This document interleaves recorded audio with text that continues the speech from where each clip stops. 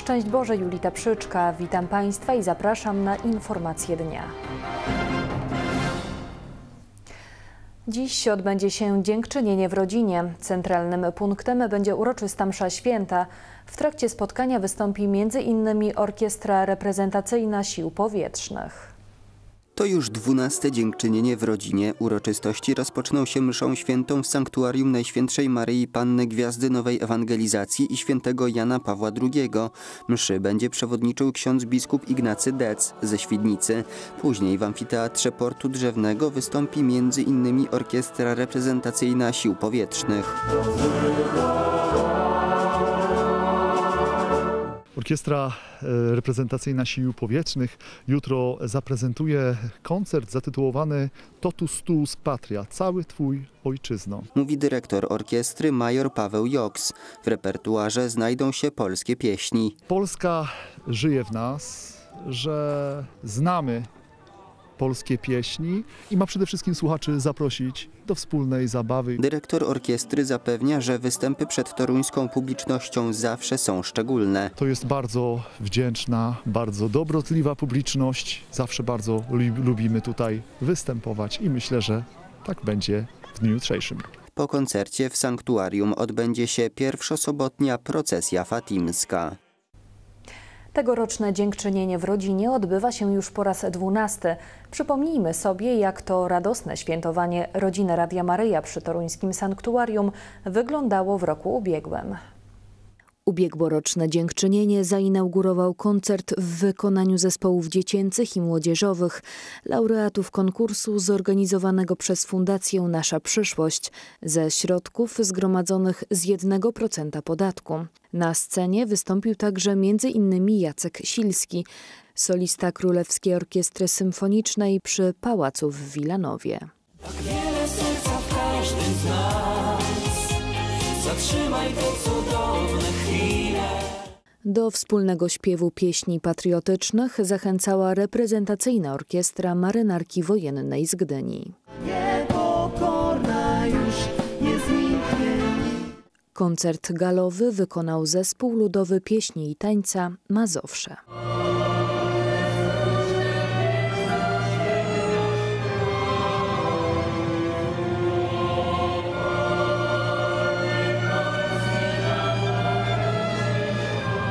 Centralnym punktem dziękczynienia była uroczysta msza święta.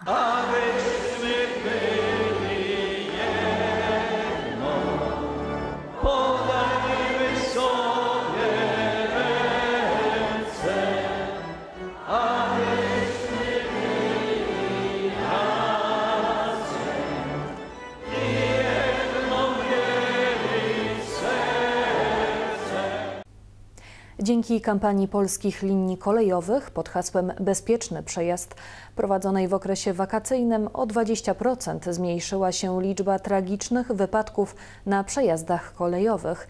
Jednak nie zwalnia nas to z czujności. W miesiącach jesiennych czekają nas kolejne akcje uświadamiające kierowców. W ubiegłym roku doszło do 30 wypadków na przejazdach kolejowych, w których zginęło 16 osób. W tym roku do wypadków doszło na 23 przejazdach i były dwie ofiary śmiertelne, ale i te dwie ofiary to zbyt dużo, zaznacza Włodzimierz Kiełczyński, dyrektor Biura Bezpieczeństwa Polskich Linii Kolejowych. Najczęstszymi błędami kierowców to są sytuacje, kiedy kierowca wjeżdża na przejazd mimo załączonego czerwonego światła migającego, a jest to już e, sygnał zabraniający wjazdu na przejazd.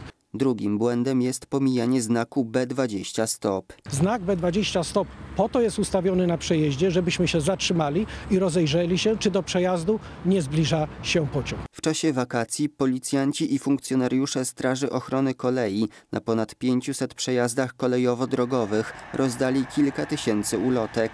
Miały one zachęcić kierowców, aby stali się ambasadorami bezpieczeństwa w myśl zasady mniej wypadków, więcej edukacji i prewencji, mówi Karol Jakubowski z Polskich Linii Kolejowych SA. siły, jakie powstały w wyniku zderzenia, e, kiedy samochód jest potrącony przez pociąg, są porównywalne z tym, jakbyśmy my samochodem przejechali po puszce napoju. Ale nie tylko samochód jest zagrożony na przejeździe kolejowym, przypomina Karol Jakubowski. Kiedy na przejeździe kolejowo-drogowym, załóżmy, zatrzyma się samochód ciężarowy wypełniony ciężkimi cegłami czy też innymi elementami, to właśnie on stanowi mur dla tego pociągu. A pamiętajmy, że w tych pociągach podróżują ludzie, tam są pasażerowie, którzy chcą bezpiecznie dojechać do celu. Przy każdym przejeździe kolejowym znajduje się żółta naklejka, na której wypisane są numery do służb technicznych, bardzo szybko podejmujących działania, aby usunąć awarię, informuje Marcin Kruszyński, ekspert PKP Polskich Linii Kolejowych SA. służą do zgłaszania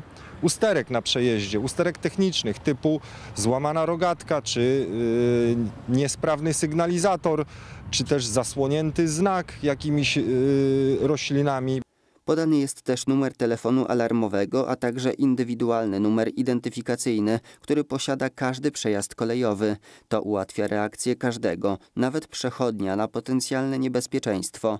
Pamiętajmy o tym zwłaszcza w miesiącach jesiennych, kiedy widoczność jest utrudniona. Rusza kolejna edycja Bonu Pierwszaka, czyli rządowego wsparcia dla młodych Polaków za granicą.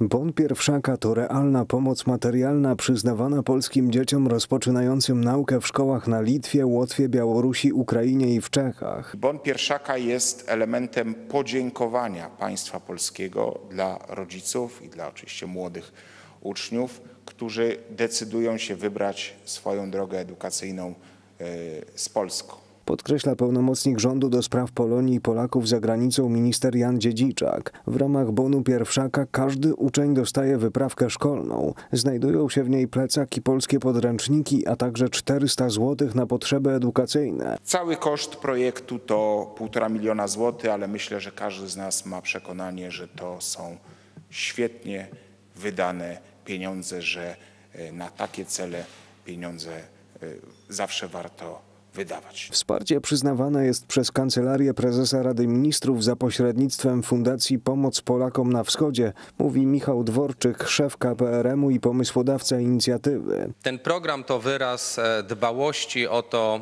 e, żeby Polacy, nasi rodacy, niezależnie od tego, gdzie mieszkają, mogli e, utrzymywać, kultywować polską kulturę, polski język, polskie obyczaje. Projekt działa od 2016 roku.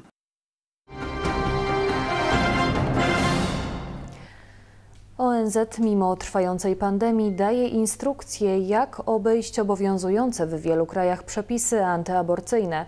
Organizacja, która powinna stać na straży życia, promuje zabójstwo nienarodzonych dzieci. Od stycznia do maja tego roku dokonano 414 milionów tzw. aborcji. Agendy ONZ w dobie pandemii koronawirusa postawiły zapewnienie bezpieczeństwa żywnościowego, podstawowej opieki medycznej, schronienia na jednej szali z tak zwaną aborcją. Fundusz Ludnościowy w raporcie m, jest w stanie wskazać i wskazuje, że w okresie pandemii prawdopodobnie około 7 milionów będzie e, nieplanowanych e, ciąż, miliony kobiet bez dostępu do e, aborcji. Jest to e, zaskakujące, bo w czasie, kiedy przeżywamy pandemię, kiedy potrzebne są środki na to, żeby ratować życie i zdrowie, ONZ nie przestaje sponsorować i też być rzecznikiem tych, którzy uprawiają politykę e, eliminacji e, ludzi. Według Światowej Organizacji Zdrowia i Funduszu Ludnościowego Narodów Zjednoczonych mordowanie nienarodzonych dzieci jest kluczowe dla walki z koronawirusem. Obie agendy chcą zaliczyć tak zwaną aborcję do podstawowej opieki zdrowotnej i na ten cel przeznaczono już 120 milionów dolarów. To, co dzisiaj e, można zauważyć, to przy blokadzie e, rezygnacji ze względów finansowych niektórych państw z zapewnienia dostępu do aborcji, do antykoncepcji, ONZ e, naciska na to, aby ten, ta aborcja była dostępna w formie farmakologicznej, e, co jest otwieraniem furtki dla dostępu do aborcji, także dla tych kobiet, w, który, w których krajach ona jest jeszcze zakazana. WHO wręcz zaleca, aby kobiety zabijały nienarodzone dzieci w domu bez nadzoru medycznego. Jednak to może spowodować śmierć także potencjalnych matek, ale o tym Światowa Organizacja nie wspomina. Pamiętajmy, że od samego początku trwania pandemii koronawirusa właśnie wszystkie agendy ONZ-owskie bardzo silnie promują aborcję farmakologiczną, czyli tą, która, e, ze, można, którą można wykonać w domu przy użyciu środków właśnie farmakologicznych. Ale pamiętajmy o tym, że środki farmakologiczne i ta aborcja domowa nie jest bezpieczna. Już znamy przypadki w Wielkiej Brytanii, gdzie e, zginęły dwie kobiety, ponieważ się wykrwawiły po właśnie domowej aborcji. W obliczu pandemii koronawirusa blisko 70 krajów świata zrezygnowało z dokonywania tzw. aborcji. Jednak od stycznia do maja tego roku zamordowano 14 milionów nienarodzonych dzieci. To kilkukrotnie więcej niż ofiar koronawirusa. Biały Dom i Kongres osiągnęły porozumienie zapewniające rządowi USA finansowanie po zakończeniu obecnego roku fiskalnego.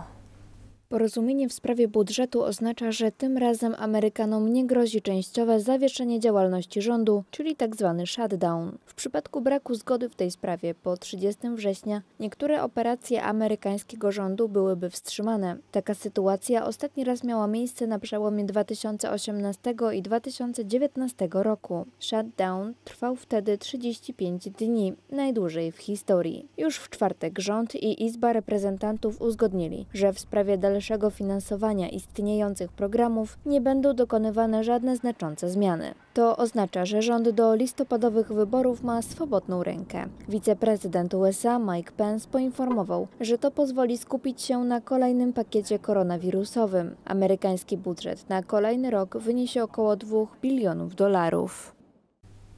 Tą informacją kończymy. Dziękuję Państwu za uwagę. Z Panem Bogiem.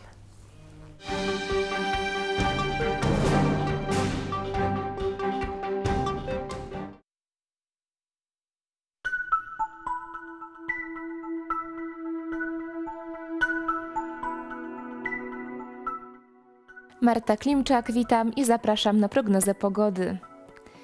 Na południu i w centrum zachmurzenie duże i całkowite. Nad pozostałym obszarem duże z przejaśnieniami. Opady deszczu w całym kraju. Na południowym wschodzie lokalne burze. Z zachodu będzie wiał umiarkowany podczas burz silny i porywisty wiatr. Niewielkie wahania ciśnienia na barometrach 1015 hektopaskali. Zapraszam na szczegółowy przegląd regionów.